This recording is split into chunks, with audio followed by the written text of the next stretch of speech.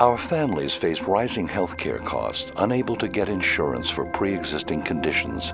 Many fall into bankruptcy because of medical bills. So a courageous group of representatives stood tall and voted to help lower costs and ensure access to affordable health care for millions. Our representative, Jason Altmire, stood small and voted no. Call and tell him how little you think of his vote.